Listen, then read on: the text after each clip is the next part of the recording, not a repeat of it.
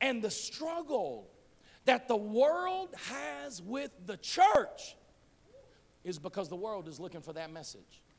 See, see, the whole reason why Jesus created the church was so that the church could go out into the world and to preach this message of the forgiveness of sins.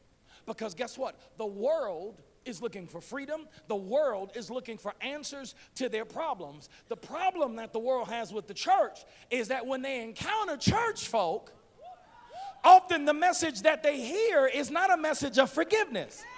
It's a message of judgment, it's a message of condemnation.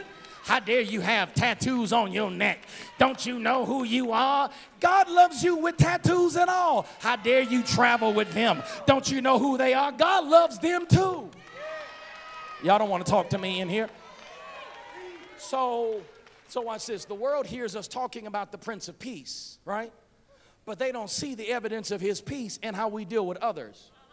So, what the world really desperately wants to know is are we smoking what we selling?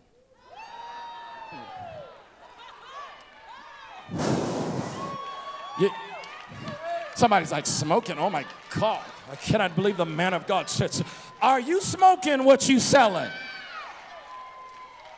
You got to learn to get high on your own supply. I'm talking about forgiveness.